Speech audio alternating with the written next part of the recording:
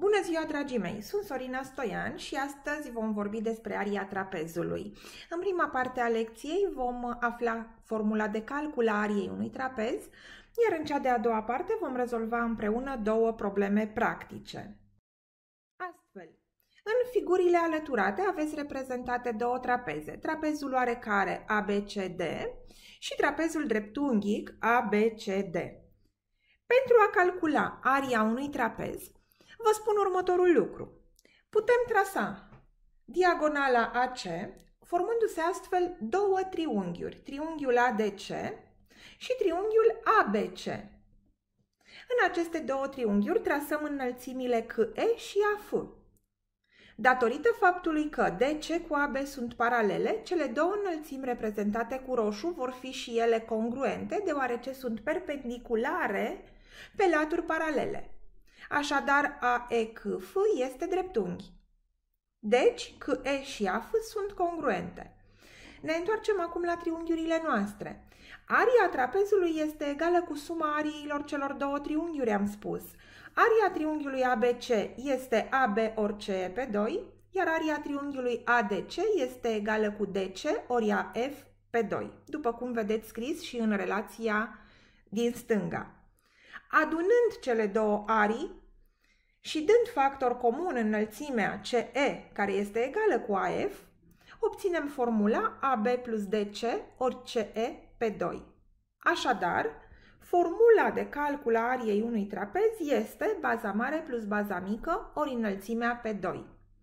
Pentru trapezul dreptunghic, înălțimea este însăși latura AD. În continuare vom rezolva împreună cele două probleme.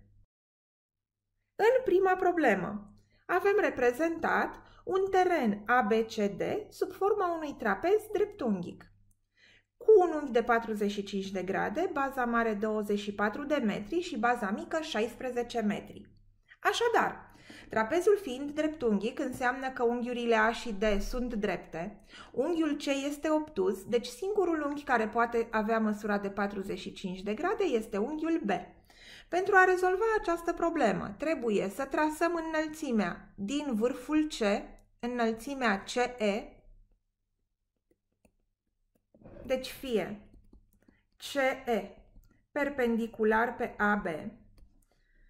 Așadar, unghiul B fiind de 45 de grade, rezultă că triunghiul QEB este dreptunghic isoscel. Păi dacă este dreptunghic isoscel, înseamnă că CE este egal cu BE.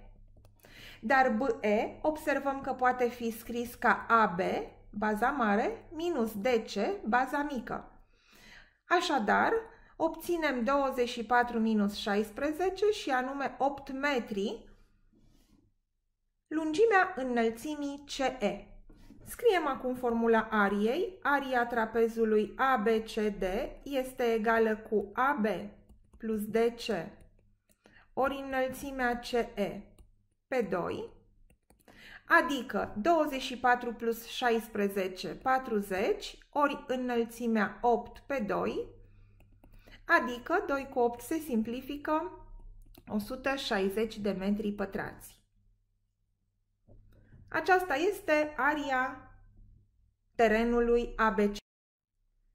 Următoarea problemă se referă la un teren agricol în formă de trapez isoscel.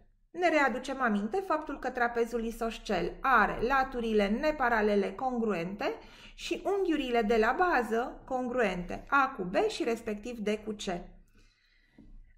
În acest trapez, unghiul DAB este de 45 de grade. DC este de 4 metri, iar BE are lungimea 4 radical din 2 metri. Întrebarea este câți metri pătrați de gazon sunt necesari pentru a acoperi terenul. Așadar, fiind trapez isoscel, trasând înălțimile DE și QE, obținem dreptunghiul DQF, da? Deci că E cu DF sunt congruente și triunghiurile dreptunghice congruente DFA și QEB. Așadar, AF cu EB vor fi și ele congruente. Deci, triunghiul DFA este dreptunghic isoscel. Așadar, DF este congruent cu AF și este congruent cu BE. Obținem deci că înălțimea trapezului este egală cu 4 radical din 2 metri. Baza mare AB este egală cu de 2 ori AF plus FE, dar FE este congruent cu DC, deci obținem lungimea bazei mari AB ca fiind 8 radical din 2 plus 4 metri.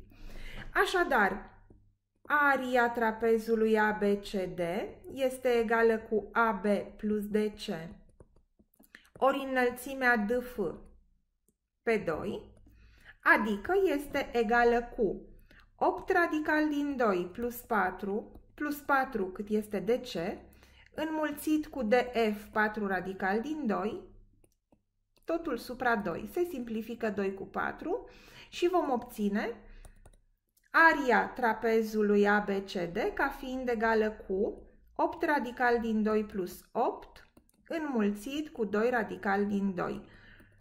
Iese factor comun un 8 și vom obține 16 pe lângă radical din 2 ori radical din 2 ne dă 2 plus radical din 2 metri pătrați.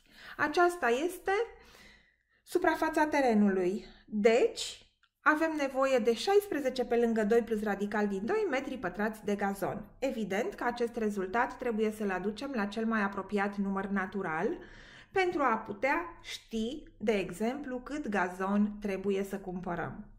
Aceasta a fost lecția despre aria unui trapez. Eu vă mulțumesc pentru atenție. Vă doresc o zi bună în continuare. La revedere!